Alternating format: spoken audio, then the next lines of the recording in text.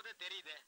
நானும் எத்தனையோ பேரை வெட்டி சாச்சிருக்கேன் க்ளோஸ் பண்ணியிருக்கேன் ஆனா தடையுமே இல்லாம அஞ்சு பேரை கொலை பண்ணிருக்கீங்களே? நீங்க என்னோட பெரிய ஆள். கையில பிளேடு எடுக்கிறவனும் பாட்டில் எடுக்கிறவனும் வெறும் உதாறு விடுறவெல்லாம் நான் அப்படி பண்ணேன் இப்படி பண்ணேன்னு சொல்றேன். இந்த காலத்துல அஞ்சு பேரை கொலை பண்ணிட்டு அமைதியா இருக்கீங்களே? நீங்க தான் உண்மையான கொலைகாரன். ஒன்னு ரெண்டு மூணு நாலு அஞ்சு. இதே இவனை சுத்தி வச்சிருக்கீங்க. என்னையா பண்ண அந்த ஆறுமுகம்? பண்ணையார் தோப்புக்குள்ள பூந்து அஞ்சு கொலை. தேங்காய் திருட்டாங்க இதே மாதிரி தாங்க இதுக்கு முன்னாடி தேங்காய்க்குள்ளேயே பாம்பு இருக்குன்னு சொல்லி தேங்காய் விளையவே சரிக்க பார்த்தாங்க. இவனை சும்மா விட்டுறாதீங்கய்யா. அஞ்சு கொலை திருடினதால இவன் தலையிலே ஒரு தேங்காய் உடைங்க. அதுதான் இவனுக்கு தண்டனை. ஐயோ! குடிக்கடா அவனை. நான் புடிச்சு வரேங்க டேய் ஆறுமுகம். இல்ல ஓடாத ஆறுமுகம். ஓட வைக்காதடா டேய் ஆறுமுகம். ஆறுமுகம். ஏன்பா ஆறுமுகத்தை துரத்துற? அஞ்சு கொலை. ஆறுமுகம். வெட்டிட்டான் அஞ்சு கொலை ஆறுமுகத்தை இது வரைக்கும் போலீஸால பிடிக்க முடியலையாமே. அஞ்சு கொள்ள ஆரம்பம் பெரிய இடத்துல சேர்ந்துட்டான். அது இல்லடி அவன் பெரிய கொல்ல கூடத்துக்கே தலைவனாட்டான் ஆறுமுகத்தை பார்க்கணும் பெரும்புள்ளி எல்லாம் தேடிட்டு இருக்காங்க. அவர் இருக்கிற காட்டுக்குள்ள போலீஸாலே போக முடியலையா? என்ன யோசிக்கிறீங்க? இல்ல பழசெல்லாம் நினைச்சு பார்த்தேன். அடேகவா என்ன மனுஷன் நீ? நேத்து பணக்காரனான பிசாத்து பிஸ்னாரி கஸ்மாலம் எல்லாம் பழசெல்லாம் மறந்துடுறாங்க. நீங்க பழசெல்லாம் நினைச்சு பாக்குறீங்களே நீங்க தான் நேர்மையான கொலையாளி. கவலைப்படாதீங்க. உங்களுக்கு ஒரு கொலை தரேன். இங்க தோப்பு இருக்கா? ஓ தோப்புல தான் கொலை பண்ணுவீங்களா? தோப்புன்னா ஈஸியா அமைக்கிடலாம். தனி மரம்னா கொஞ்சம் கஷ்டம்.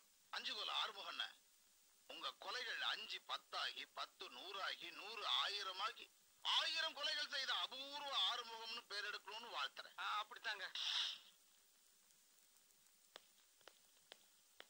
ஏப்பா நீங்க வந்துட்டு வேலை பிடிக்கலன்னா வெளியே போக முடியுமா? உள்ள வந்து விஷயத்தை தெரிஞ்சுக்கிட்ட எவன உயிரோட வெளியே போக முடியாது. ஐயோ என்னைக்கு உண்மை தெரிஞ்சு என்ன வெட்ட போறானோ?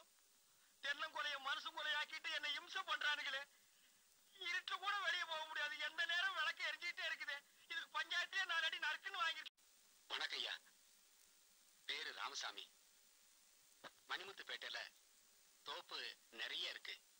கிட்டத்தட்ட நூறு ஏக்கர் இருக்கக்கூடிய அந்த தோப்புக்கு நியாயமான வாரிசே நான் தான் ஆனா இப்ப எங்க அப்பாவோட வப்பாட்டி புள்ள நான் உனக்கு அண்ணன் உறவு அந்த சொத்துல எனக்கு பாதி வேணும்னு இப்ப தகராறு பண்றாங்க. ரிசர்வேஷனா அட்மிஷனா டிக்கெட்டா ரிசர்வேஷன்னா கைய காலை உடைச்சு வீட்டுல போட்டுருவோம். அட்மிஷன்னா பேச்சு மூச்சு இல்லாம ஹாஸ்பிட்டல்ல கிடப்பான். டிக்கெட்னா சங்கு ஊதிடுவோம் நீங்க டிக்கெட்டே வாங்கி கொடுத்துருங்க இடம் எவ்வளவு தேரும்? நூறு ஏக்கருங்க. ஊரு மணிமுத்துப்பேட்டைங்க. டிக்கெட் என்ன இடத்தினுடைய மொத்த வேல்யூல பத்து பர்சன்ட் சம்பளம். அஞ்சு லட்சம் ரூபாய் ஆகுது. ரெண்டு லட்சம் ரூபாய் அட்வான்ஸ் கொடு. வேலையை முடிச்சோன்னா ரெண்டு லட்சம் ரூபாய் கொடு. நியாயம் இருக்கணையா உங்களை பத்தி நல்லாவே விசாரிச்சு தான் அட்வான்ஸோட வந்திருக்கேன். அடுத்த வாரம் அந்த ஆளு கோர்ட்டுக்கு போறானே அதுக்குள்ள முடிச்சிட்டீங்கன்னா நீ எனக்கு ஆர்டர் போடாத. அடுத்த வாரம் உன் சொந்தக்காரங்க சொல்லி அனுப்பு. அவன் உயிரோட இருக்க மாட்டான். காலையில எங்க போறாரு? சாயந்தரம் எங்க போறாருங்கிற விவரம் பூரா இந்த கேசட்ல இருக்கு. யோ ஒரு மனுஷன் காலையில எங்க போவான்? சாயந்தரம் எங்க போவான்? எதுக்கு போவான்னு ஐயாவுக்கு இவ்வளவு வயசாகி தெரியாது? அத போய் கேசட் பண்ணி கொண்டு வந்திருக்கேன். அசிங்கமா இல்ல? ஆமா அது எப்படி அந்த இடத்துல போய் உட்கார்ந்து அதை எடுத்த? நான் பேசும்போது குறுக்க யாராவது பேசினா அவன் தலை இருக்காது. நீ போ. வரேங்கண்ணா ம். ஐயா உண்மையிலேயே இந்த அட்மிஷன் ரிசர்வேஷன் டிக்கெட் இதையெல்லாம் நீங்க பண்ணிருக்கீங்களா ஆறுமுகம் நீ தான் ஏதோ அஞ்சு கொலை பண்ணிட்டேன்னு ரொம்ப அழட்டிக்காத. உன் கணக்கு அஞ்சு என் கணக்கு ஐம்பது. இந்த அஞ்சு கொலை ஆறுமுகன்ற பேர் அவ்வளவு நல்லா இல்ல. அதனால இந்த கொலையும் பண்ணிட்டு ஆறு கொலை ஆறுமுகன் பேரை மாத்திக்க. வேணாங்க ஐயா அஞ்சு தான் எனக்கு ராசியான நம்பரு அதையே நான் வச்சுக்கிறேன். எனக்கு பிடிக்கல. உங்களுக்கு பிடிக்கலன்னா நான் என்ன பண்ணுவேன்? இந்த கொலைய பண்ணிட்டு ஆறு கொலை ஆறுமுகம்னு பேர் எடுங்க. இந்தாங்க அட்வான்ஸ புடிங்க. கேசட் இருக்கு பாத்துங்க ஐயோ கொலையா? நான் யார பண்ணிருக்கேன்? எப்ப பண்ணிருக்கேன்? எறும்பு கடிச்சு எனக்கு தாண்டா வீங்கி இருக்கு அத நான் நசுக்கிறது கூட கிடையாது. ஐயா கேசட் அவன் அடையாளம் பார்த்தேங்க. அடையாளமா? நான் எங்க பாக்குறது கண்ணாடி பார்த்தா என் மூஞ்சியா ரெண்டு நாளைக்கு தெரியாது. இந்த நாயை நான் எங்கடா பார்க்க போறேன்? காலை வெட்டினேன்னு சொன்னதுக்கே காலை வெட்டி புட்டானுங்களே. இவன் தலைய வெட்டலன்னா என் தலைய வெட்டி போடுவானுங்களே. நான் கத்தி எடுத்து பச்சை மிளகாய கூட வெட்டது இல்லடா இவனை நான் எங்க போய் வெட்ட போறேன்? மட்டையெல்லாம் வெட்டுறானுங்க. அப்படியே போட்டு போயிடறானுங்க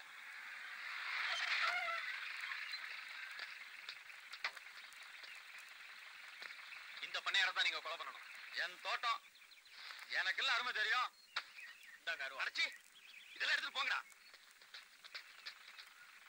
போங்கடா. ஐயா ஐயா பண்ணையார் ஐயா உங்களுக்கு உங்க தம்பிக்கு ஏதோ நிலத்தகராறா அவர் மேல நீங்க கேஸ் போட போறீங்களா? ஒரு தகப்பு வயத்துல பிறந்த நீங்க ரெண்டு பேரும் இப்படி அடிச்சுக்கலாமா? எங்கேயோ பிறந்தனா உங்களை ஒன்னா சேர்க்க துடியா துடிக்கிறேன். உங்க கால்ல வேணாலும் விழுந்து கேக்குறேன். ஒத்து போங்க ஐயா. இது மாதிரியா ஐயா! ஆ! ஆ!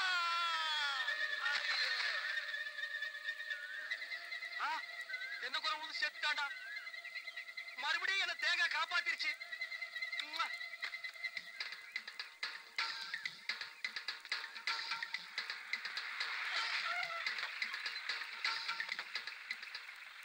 பண்ணையார் செத்துட்டான்டா.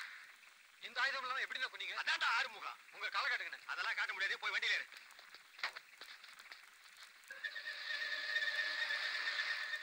ஆறுகோல ஆறுமுகண்ணே டேய் என்னடா ஆறுகோல ஆறுமுகம் ஆறுகோல ஆறுமுகம்னு வெறும் ஆறுமுகம்னு கூப்பிடக்கூடாதா அது என்ன டாக்டர் பட்டமா என்னடா உங்களை தேடி ஒருத்தர் வந்திருக்காருண்ணே என்ன தேடி யார் வந்திருக்கா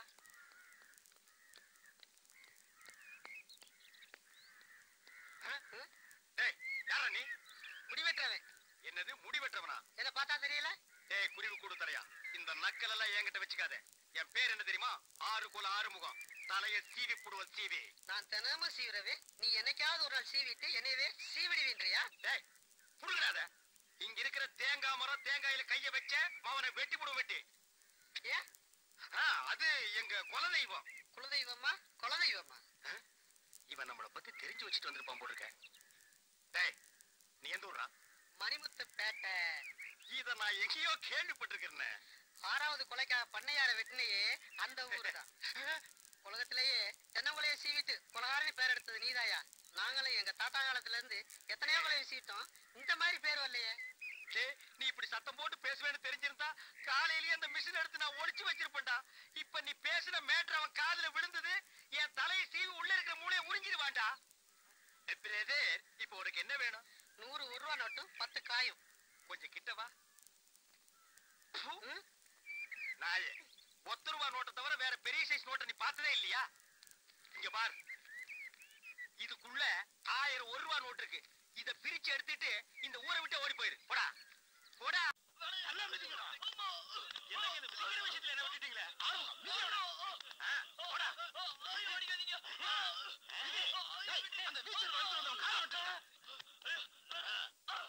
எதுக்குங்க ஐயா அவன் காலை வெட்ட சொல்றீங்க? ஒருத்தன் காலை வெட்டிட்டு வாடான்னு சொன்னேன். சரிங்க ஐயா. அவன் தானாவே பாத்ரூம்ல விழுந்து காலை உடைச்சுக்கிட்டான். சரிங்க ஐயா. நான் தான் வெட்டிட்டு வந்தேன்னு சொல்லி என்கிட்ட பணத்தை வசூல் ஐயா. செயல்ல சாதிக்காம வார்த்தையால பெருமத்தை அடிக்கிறவனை நான் வெட்ட வைக்க மாட்டேன். காலை. கரெக்டுங்க ஐயா. நீங்க சொல்றது நூத்துக்கு நூறு கரெக்டுங்க ஐயா. ஐயா ஒருத்தன் தலைய வெட்டாம வெட்டிட்டேன்னு உங்ககிட்ட வந்து போய் சொன்னா நீங்க என்னங்க ஐயா செய்வீங்க? பொய் சொன்னவன் கையில அவன் தலையை வெட்டி கொடுத்துருவேன் சந்தோஷங்க ஐயா ஐயா ரொம்ப சந்தோஷங்க ஐயா வாப்பா வந்து பாரப்பா. வீம்பு வீரமுத்து பொண்ணு. அவங்க அப்போ உருப்படியான ஒரு காரியம் செஞ்சிருக்கான்னா அது இதை பெத்ததான்ப்பா ஆ ஆப்ரோசர் நைஸ் கோட்டர் ஜாக்கெட் நைஸ் கிளாஸ் எக்ஸலென்ட் இதெல்லாம் நம்ம ஊர் எக்ஸிபிஷன்ல வாங்குறதா?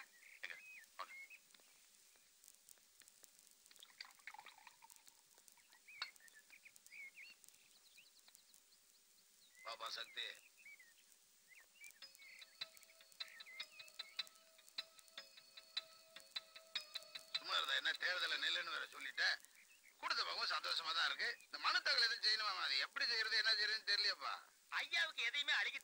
ஆறுமுகம் இல்ல முன்னால இருந்து பின்னால ரப்பர்ல அடிக்க மாட்டீங்க? அதை சொன்னேன். நீங்க கவலைப்படாதீங்க சார். ஆரம்பிச்சு வச்சது நான் தான். நானே முடிச்சிடுறேன். முடிச்சிடுறியா? சீக்கிரம்.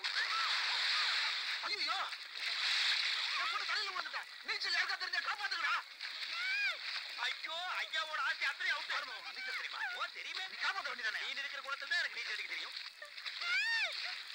வரலையா? மூணு தடவை வருவா அதுக்கப்புறம் வரவே மாட்டான் கவலைப்படாதீங்க. உங்க மொத்த சொத்தை ஏழை பிள்ளைங்க அனாதாசிரமா பிச்சைக்கார நாய்ங்க பரதேசிங்க எல்லாத்துக்கும் எழுதி வச்சிருவோம்.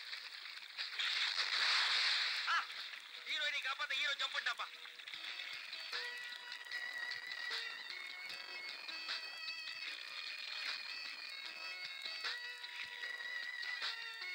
உள்ள போனவன இன்னும் காணா? அவன் காணாமலே போயிட்டாங்க. நீச்சல் தெரிஞ்சதாங்க வெளியே வருவா. சும்மா அவங்க முன்னாடி ஜம்ப் அடிச்சிருக்காங்க தெரிஞ்ச மாதிரி. எதுக்கு வாடகை கால் பிடிக்க ரெண்டு பேரையும் காப்பாத்தலாம். யோ கீழே போய் பாரு. கீழையா எதுக்கு? சைடுல கண்ணாடி இருக்கு அது வழியா போய் பாரு. ஏங்க இதை முன்னாடியே சொல்லக்கூடாதா?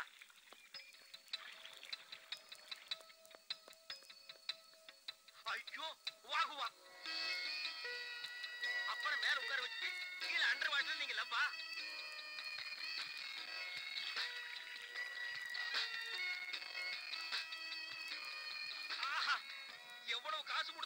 வாங்கி பால்கனியில போய் உட்கார்ந்து இங்கிலீஷ் படம் பார்த்தா கூட இப்படி ஒரு காட்சி கிடைக்காதா சாமி.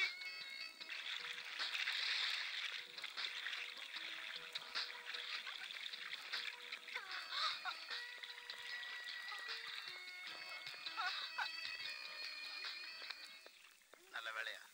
என் பொண்ணை காப்பாத்திட்ட சார். அம்மா ஏன் நேரம்? வழக்கமா தண்ணீர் விழுந்து உங்களை வெளியில கொண்டு வந்தா வாயிலிருந்து தண்ணி எடுப்பாங்க. இப்ப உள்ள வச்சா உறிஞ்சிட்டாங்க.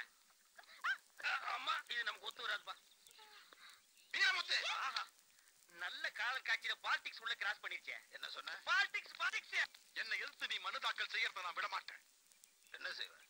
பழைய ஃபைல் எல்லாம் புரட்டுவேன். சரக்கு இருக்கிறவன் வண்டியை பிடிக்க போன இன்ஸ்பெக்டர் என்ன கொலை பண்ண சொன்னிய அந்த ஃபைலெல்லாம் நானும் புரட்டுவேன். வீரமுத்து வேண்டாம்.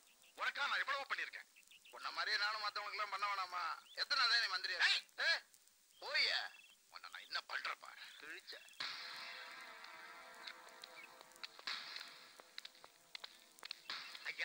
எவனையாவது ஒருத்தன் நெருப்புல கொளுத்தி விட்டு அவன் உங்களுக்காகத்தான் செத்தான் அப்படின்னு பேப்பர்ல விளம்பரம் கொடுங்க. உடனே நீங்க தலைவர் ஆயிடுவீங்க நான் ஹாஸ்பிட்டல்ல படுத்ததுக்கே ஒருத்தன் சாவ தயாராண்டா அச்சச்சச்சச்சா, எனக்கு தேர்தல டிக்கெட் கிடைக்கலன்னா அவன் இருப்பானா? அச்சச்சச்சச்சா. கலக்கிறேன்.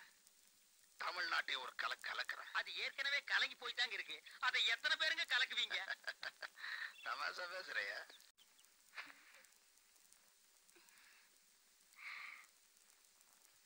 ஐயோ, ஐயோ அம்மா ஏற்கனவே நான் செய்யாத தப்புக்கு தண்டனை அனுபவிச்சுட்டு இருக்கேன். இப்படி ஒட்டி ஒன்னா படுத்துக்கிற கொப்பம் பார்த்தா என்ன பிரியாணி ஆக்கி மனுஷன் கறின்னு கூட பார்க்காம திருடுவா இந்த வா நீ படுக்க வேண்டிய இடம் திஸ் கோல்டு மெடல் கோ அப்படி தாக்கு என்னது எனக்கு தனியா படுத்து பழக்கம் இல்ல ஹாஸ்டல்ல ஃப்ரெண்ட் பக்கத்துல படுத்துக்குவேன் இப்போ உன் பக்கத்துல படுத்துக்கிறேன் கொடுத்து வச்சு விட்டா அப்பா சக்தி ஐயோ சவுட்டு மிஷினு மாட்டிக்கிட்டா மாட்டிக்கிட்டா கோல்டு மெடல் மாட்டிக்கிட்டா சக்தி அப்பனுக்கு மகனுக்கு ஏன் மட்டும் தான் கிடைச்சதா ஓ உட்கார்றது இப்படி ரவுண்ட் அடிச்சியா எங்கட மாதிரி கப்புன்னு ஒன்னால உட்கார முடியாது ஏமா தேர்தல நிக்க நான் என்ன பேசுறது? பொய் தான். அவனால இப்ப பேச முடியாதுங்க. நல்லா மாட்டிக்கிட்டான். யாருகிட்ட மாட்டிக்கிட்டான்? ரெண்டு கால் பூச்சிக்கிட்ட. ரெண்டு கால் பூச்சி வேணா நீங்க பெட்ஷீட் எடுத்து தூக்கி பாருங்க.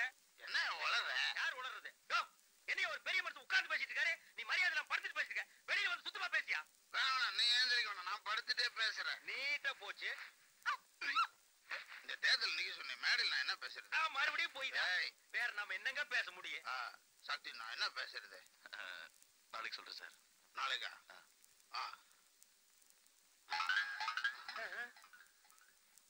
ஒன்னு ரெண்டு மூணு நாலு. என்னது நாலு கால் இருக்கு? அவனுக்கு நாலு கால் தாங்க. நடக்கும்போது ரெண்டு மடக்கி வச்சுக்குவான். படுக்கும்போது ரெண்டு நீட்டி விட்டுருவான்.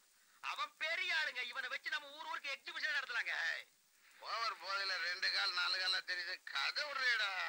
நான் கதை விடுறேன். காது தான் அவுட்டுன்னு நினைச்சேன். உன் பாடி அவுட்டா ஓ ஓ.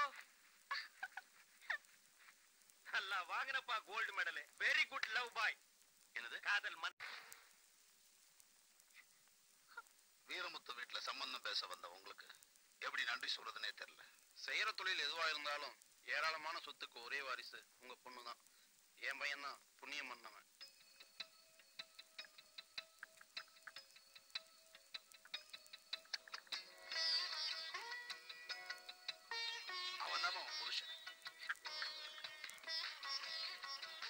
உன் மாமியார். அவர் தான் உன் மாமனார். நேத்துக்கு வரைக்கும் டூயிட்டு இவ கூட பறந்து பறந்து நீ பாடிட்டு கடைசியில இவனுக்கு தள்ளி விடுறியா? இவ என்ன கண்டமுடி டிக்கெட்டா நீங்க தான் மாப்பிள்ளைக்கு அப்பாவா பாக்கிறதுக்கு அந்த மாதிரி இருக்கீங்க yesterday father cheating today puppy சீட்டிங்க gold medal தூக்கிங்கனோ என் பொண்ணு கான்வென்ட் காலேஜ்னு படிச்சிருந்தாலும் கட்டுப்பாட்டுல அவள மாதிரி யாரும் இருக்க முடியாது. ஐயா சொல்ற நியாயமான பேச்சுங்க மாமனாரே அவங்க வயசுக்கு ஆம்பளைன்னு யாரையாவது ஒருத்தர் பார்த்திருந்தா அது இவர் மட்டும்தாங்க? தப்பா எடுத்துக்காதீங்க. அவ அவளுடைய பாடி கார்டு கல்யாணத்தை எப்ப வச்சுக்கலாம்? கல்யாணமா? வீரமுத்துவை பத்தி நான் கேள்விப்பட்டிருக்கேன். உங்க பொண்ணுக்கு முன்னாடி நீங்களே அடக்கமானவர். இந்த சம்பந்தம் நமக்கு சரிப்பட்டு வராது. வாங்க போலாம். நமக்கு வேண்டாம்னா எப்படிடா அப்பனுக்கு மகனுக்கு சேர்த்து பொண்ணு பார்க்க வந்தீங்களா? ஏன்டா பப்பாளி தலையா?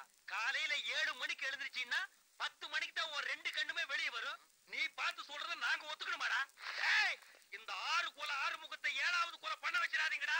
ஏழாவது ஆறு முதல்ல இவன் பொண்டாட்டி கொட்டி போடா ஐயோ. இதை Yeah.